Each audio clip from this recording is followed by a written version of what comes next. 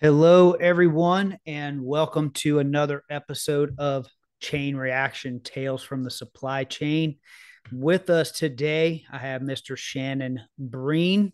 He is the co founder of Freight Waves based in Arizona. Freight Looking, oh, edit. Start over, Jeff. Yeah, you're too You had early. an, in all fairness, you had an article of Freight Waves on your LinkedIn. So I did. Hey, it in was my stuck on your brain. I'm like, hey, I'm- we're only 10 seconds in. We could definitely start over. Yeah, yeah. So I'm I'm gonna I'm gonna discount some of my mis misnomer there. It didn't just come out of the. Oh, and it's Vana too, because people, some people say Vanna. Don't do that. I figured Vana, like, because there's Yeah. Carvana, because there's Carvana. There's Tivana too. So let's let's give credit to Tivana, who was much earlier than all of us. Okay, well, Yeah. fair enough. So, Let, uh, let- let's not talk about that either. There's some sensitivities. So so uh, welcome everybody to Chain Reaction Tales from the Supply Chain Front Lines. I am Jeff Davis, and with us today we have Mr. Shannon Breen, the co-founder of Freight Vana, based in Arizona. Uh, definitely looking to hear what he has to say about various aspects of the logistics market. Shannon, tell us a little bit about yourself, how you got here. Uh, well, uh, grew up without any background or experience in transportation. Um, had entrepreneurial spirits when I was younger, Jeff. Always was that kid in, in high school. I, I pictured myself having franchises and 30 or 40 and X number of franchises by a certain age. That didn't pan out. Uh, backgrounds in finance, so spent a lot of time on that in school. Uh, ended up doing working for private equity company and some sister companies doing some work. Uh, then 2012 came and really was my first foray into transportation. So uh, I've lived here in the Phoenix Valley for 30 plus years. It's been home, college here, uh, joined the ranks of, of Knight Swift, Swift Transportation, really Knight at that time, uh, out of Phoenix, right? Pre merger, and worked my way up through the ranks and really enjoyed the business and the chaos and the people. Uh, and I just fell in love with it. So it, it really spoke to me. I love love solving the problems, love working with some of the tech stacks and packages, and have been doing transportation logistics ever since 2012. So uh, over a decade uh, in the industry, and uh, excited to see what we and honestly the industry does next because there's so much out there and uh, big ocean as we all talk about, but a lot of opportunities for for for folks, uh, hopefully like ourselves. Yeah, uh, absolutely. And, and so there's a few things there I want to hit on, right? So you were are, you were an entrepreneur at heart from from early on. Yeah, I would say so. Yeah. Yeah. And you started out in what you said private equity.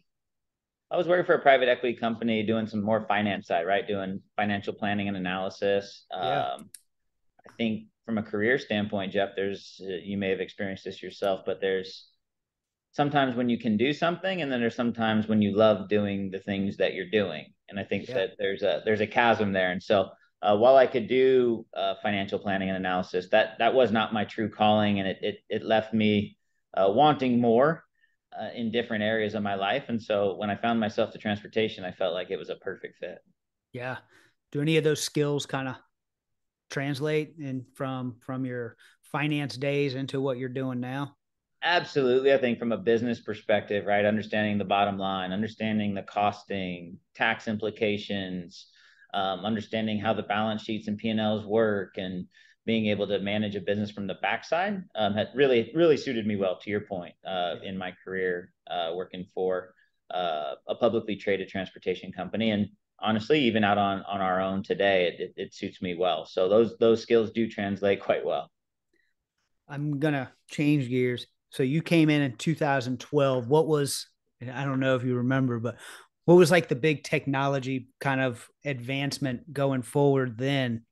Yeah, a, a lot of talk about TMSs then, Jeff, right? Oh, so you yeah. had you had big industry players that had for for really had kind of cornered the market, I'd say, on two fronts. So I love the question. Two fronts that I, I'd say they had the market cornered for the big establishments were their TMS, customized TMS solutions that they had built, Mhm. and the data analytics that they housed within it. And so, an interesting as 2012, 2012 moved on, you saw a lot more participants building um, out of the box technologies that you could buy off the shelf. You saw the advancement of third party uh, integrators and data sources that could provide better intelligence to the industry even if you didn't have the volumes of the biggest and baddest players in the industry and so at that time it was it was it worked really well because i was working for an institution that also needed advancements in the platforms we were using and what we were going to do with the data and how do we capture it so um, that was an interesting time in transportation. I got a really good uh, chance to work through some projects that allowed me to be right at the crux of some of that. But I think at that point in time, that was a huge conversation and where a lot of the industry was wondering, like, hey, do we buy versus build, buy versus build? Conversation still happens today. There are so many participants on the data and TMS side of the business uh, than 10 years ago. It's it's wild to see how different it is. Yeah, data is more valuable than gold, right? And yeah. more valuable than oil, right? It's it's yeah. the most valuable commodity. And yeah, so I remember TMS coming out, and that was the big solution set. Who were they? Who was the two big TMS? I don't remember. well. I mean, look, you got big outfits, right? I think you've got like a CH Robinson, clearly, right? Been doing this for 120 years, so they dominated on both data and their platform. Okay. They were yeah. obviously a, a, a leader and and still are today. Um, you've had other other big institutions like an Echo Global uh, Logistics and some others. So they really had some distinct advantages of size and still do. But I would say, kind of like a race, I feel like the rest of the market kind of caught up to them in certain areas. Mm-hmm. Um, maybe not being able to replicate clearly size and breadth and and all the experience they had, but in regards to data analytics and functionality of the TMS, many people started to close the gaps and continue to do so. Um, even some would argue surpass that um, functionality that some of those industry leaders had the advantage 10 years ago. So, fast forward 2023, what's happening in technology in our industry now? Well, I think it's a really interesting time. Um, in order to understand where we're at or where I maybe perceive us at today, you got to go back a few years, right? Everybody's selling the best whiz bang technology that's going to democratize freight, remove all humans, um, and be the next thing that the entire fragmented industry of, of trucking transportation goes to. Yeah. That would have been kind of the the headline story from 16 to 17, definitely into 18, 19, and 20. Um, but I think 23 is an interesting story because we're seeing uh, some of those stories start to erode. We're seeing uh, the plausibility of some of those marketing packets uh, start to kind of fall apart underneath the weight of the market, underneath the weight of uh, fundament financial fundamentals. And so, this to understand 23, thinking how did we get here? Well, a lot of money pouring into the space, a lot of popularity on transportation, especially following uh, COVID and some of the disruption.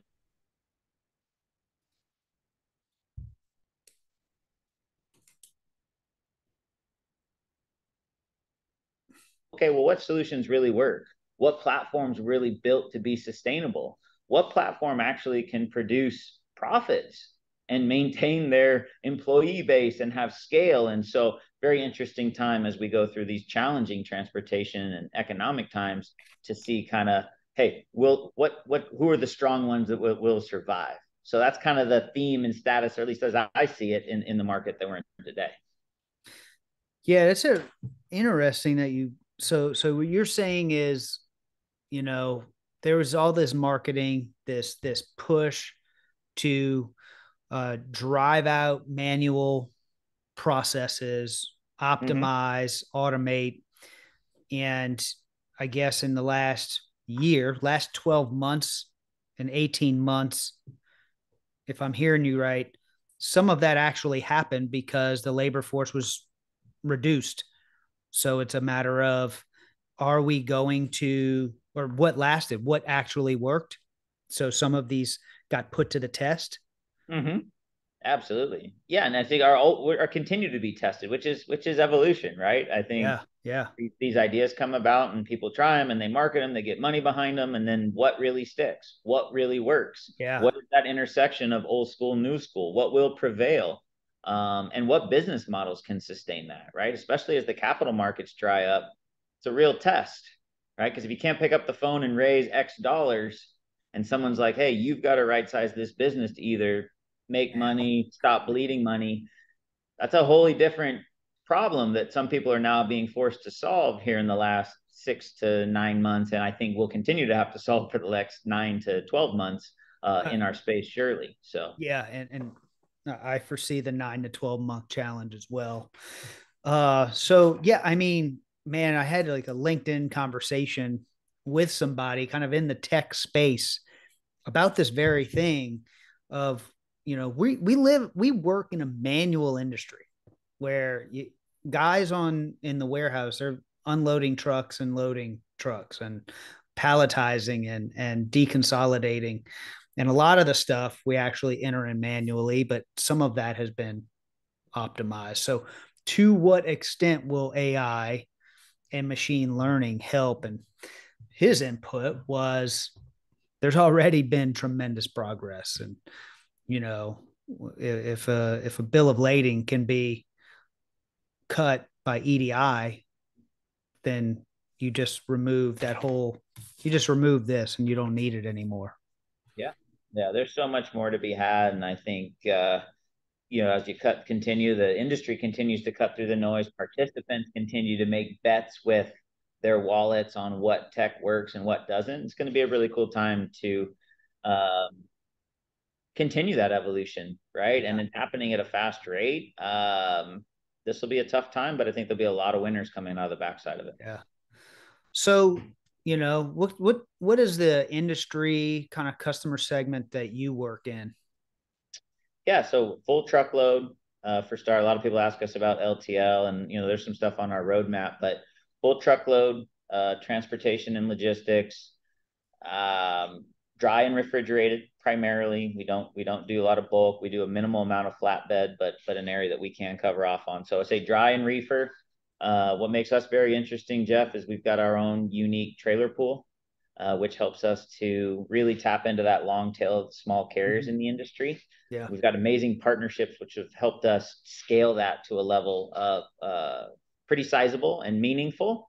Uh, and we cater to all of the shippers uh, that need trailer pools to operate their business. You're talking about um, CPG companies, retailers, manufacturers.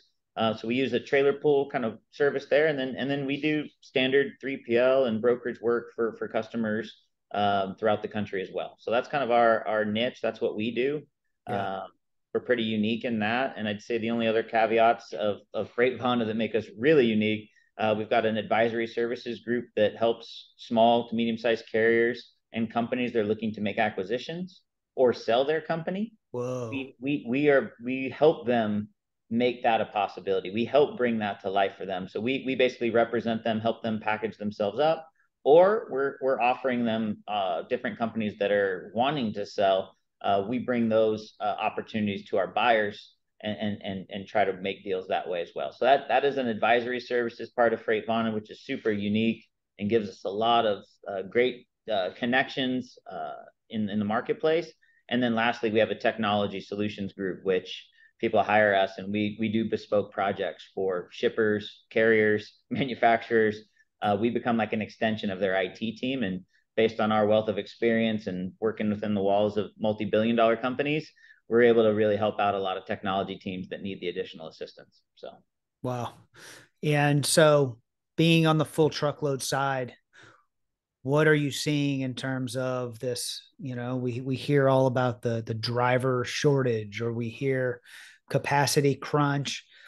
Different markets may have different things. What what's really going on and what is the reefer situation? I, I want you to touch on that later because i'm sure produce season whenever that happens that that affects it yeah, I think on the carrier side, right, let's hit that first. I think this is the downside of the cycle, right? When you see rating that's at five year historic lows, you know, some would argue that it that it helps. It does help certain segments, right? But uh, the the transportation markets are roller coasters, as you well know, right? Now, if you've done it right a certain amount of years, you've seen the entire roller coaster show. Doesn't take a lot. You could look at all the data analytics. It, what goes up and comes down, and it's coming quicker and faster uh, and more voracious than it ever has. So in this current cycle, the rates being five year historic lows probably suits the budgets of shippers. they got their butts kicked on budgets and consistency over through the COVID and uh, years.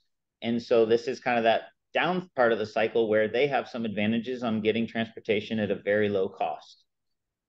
The the backside of that low cost, the unfortunate or fortunate part of a, a market that moves the way transportation does is that you know what we're seeing already in the world the market is seeing is you're seeing starting to see a ramp up of how many small to medium sized carriers are going out of business right? That's just starting to happen over the last three or four months will continue to raise.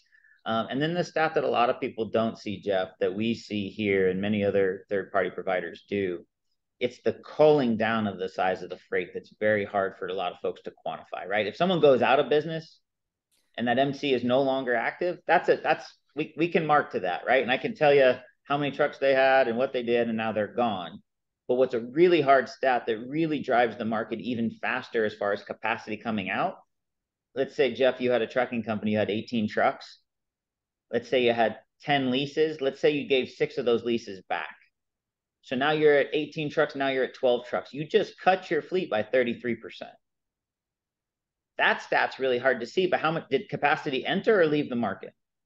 Well, it left. Well, it left, yeah. It left. But right. I don't have something really tangible to ping on. So while people are really honing in on the revocations, right? The the MCs going out of business, it's very critical. And I'm and I'm working with a couple partners now to really try to see into this kind of through that wormhole and say, what does it look like for just the culling down of the freight, right? That that that Jeff Jeff transportation that went from 18 to 12 and every subsequent move down like that, that'll be a very interesting trend line to see because that also builds up to the capacity leaving the marketplace. And then what goes down, what must come up. And hence we won't be running at the five year, you know, historic lows for a long time because as that comes out, you're going to see a normalization and, and the rates come back to more uh, normal, sustainable levels. Because at these levels for trucking companies, I'll be honest, most trucking companies can't sustain at the levels and pricing that exists in the marketplace today. That's, I think that's factual, especially as you get into the smaller fleets. Uh, so at the rate levels of today, they're too low to to have a, a meaningful, sustainable business. I would I would say so. I think the market would say so. Uh, there's plenty of reasons. You know, if we we had more time to unpack it, but I mean, everything that people talk about, fuel prices are still high, insurance and, and claims are still at a very high high level driver pay and wages have not come down so that you know these owners and these people that are managing these carriers they just don't have a lot of ability to cut any of those costs out. And equipment is still not cheap. So you add those four amongst many others you just get to a breaking point where the economics don't work. And hence you're running a deficit every single month on cash flow and profitability. And the unfortunate part about the business is just like humans when times are good a lot of people don't do a good job of saving. So then when you get to these times, did you save all your money from the good times so that you can withstand it? But if you've spent that money or you got too far out over your skis, which a lot of people do, then this time is going to cause a lot of pain and, and some tough decisions have to get made on shrinking a company or, uh, in the worst scenario, going out of business altogether. Ooh. All right. Give me some good news, Shannon the good news is the good news is that it is a market that always changes. The good news is that there are really good companies with cool technologies or cool platforms uh, or unique propositions that they're looking to bring to market. And as the market swings back, like like many you've heard this and read this, like great companies are built and born out of some of these challenging times. And uh, obviously, I'm here with you today, and you know we've started Freight FreightVana and we're trying to be one of those companies yeah. uh, but very humble and hungry in our approach. And so we are doing everything we can to position ourselves for the long haul right? Yeah, not to yeah. be cheeky but like those companies that are able to build sustainable growth models on the backs of good culture um, that the industry participants identify and believe in those will be your winners. And, and we're definitely working our, our butts off jeff to, to try to be one of those folks. Absolutely and I, and I like that, you know. And I too started, you know, a, a company in this time, and it's you know I tell my wife if we can get through 2023, it's going to be very good, right? Like because Q3, Q4 is when I kind of see some some trend upwards, and then really next year we should we should see some normalization there. But um, hopefully, not everybody blew their wad last year because it was insanity. You know, if you were running a trucking company, uh, you really had the pick of your litter of what loads you wanted to take, and and at what price. Right, that's my point. Right, you could choose what you wanted to take, and it was the time to be a driver. You know, if if I was a driver, if I was an owner operator, um, I, I, would I would have chosen last year to do be my last year in business and and, then, and then hang it up. But um, so certainly I agree with all of that, right? And um, and if they can ride out 2023, it's probably going to be a very good afterwards and, and more stable. Because I look at the large companies, the large institutions. To your point, I understand JB Hunt is procuring a lot of commercial real estate throughout the country and for the near future because they see a large rebound in Q3, Q4. Yeah. And they want to be ready. They don't want to be caught flat footed. Yeah, and they have the benefit of that size, and they have the dry powder, and they've got the free cash flow. Exactly, and, right? Know, they they're, they're not worried about necessarily. I mean, they are worried, right? Because it's publicly traded, so and you, it, you you do play the quarter over quarter game like everybody has to. But you know, they've been a company that can see beyond the uh, the ninety day uh, roadshow, let's call it, and they're believing in a different future. And you're going to see a lot of companies that have the have the capital go out and make some big acquisitions in this space. Um, and it's you probably don't need to look too far from some of the companies that even during the high market times, Jeff, still weren't wildly successful. Which would then tell you, hey, if to your point, if you're not wildly successful in the in the in the high market cycles, you've got almost no chance to make it through on the downside. And so you're going to see some of those companies either get folded in, acquired. Uh, you're going to see a lot of that in the industry, and, and some of those big players, like the one you mentioned, will, will probably be there for the acquisitions of both land, of businesses, mm-hmm. uh, and all because they want to come out and they have a, the, a, responsibility to their shareholders to figure out a way to grow. And pure organic growth is really hard in this industry, and so you're going to see a lot of more folks lean into the acquisition side that that have the wherewithal and capital to do so. In which case, your advisory business would be highly successful. Look at you plugging the brand, Jeff. You, I mean, you helping you out, man side marketing and sales. You you've got. Well, I, I, I can appreciate. I mean, I can see how you know it's kind of an additional business unit, and it has some value, especially right now when there's going to be some potential M and A activity. Um, the one other th- caveat that I'd ask add to what you just mentioned, right? Those big institutes, they have very smart economists there, right? So they likely are reading the charts that we just see, and it's kind of neat to look at, but they're studying all the charts and and I just look at it as they have a fully staffed finance team and economics team. Uh, something that you and I don't have the benefit of having yet. Yeah, yeah. I mean, I, have I've seen within seen that seen seen the inside of that onion, and they do have more resources. I wouldn't, you know, I think there's incredibly talented people that uh, see the world. I love I love their follows. I love what they bring to the industry. They just they don't have the I would say wherewithal. They don't have the capital to really act upon some of it. And so these folks have the the the benefit of having a little bit of both. Yeah. So awesome. Uh Shannon, if anybody wants to get in touch with you for using Freightvana, talk to you about your yeah. advisory services, where can they get in touch with you? What's the best way? Yeah, I mean, I'm on LinkedIn, right? That's probably yeah. how we connected, Jeff, months ago. Um, so you know, Shannon Breen, B R E E N. Uh, we have a website that we're we're doing some work on, but we have a website up now. Hello at freightvana.io. Um, all the links, if you want to send us uh, an email to that address I just gave, go to freightvana.io. We got jobs. We've got a little bit about our company. Uh, we can all be reached either LinkedIn or the email. Um, or the website, Jeff. So we'd, we'd love to hear from anybody. We, we are definitely students of the game. Uh, I mentioned, you know, being humble and hungry in our approach, and we just love the connections and the new opportunities that lie ahead. Honestly, like that's what that's what gets me out of the bed in the morning and this team, and it's, it's a pretty special journey that we're on. Yeah, awesome. Well, Shannon, thanks so much, and uh, let's stay in touch, man. Let's let's be on LinkedIn, and we will. Uh, I'm sure be in touch in the business. All right, Jeff. Appreciate you reaching out, man. This was a lot of fun. Awesome.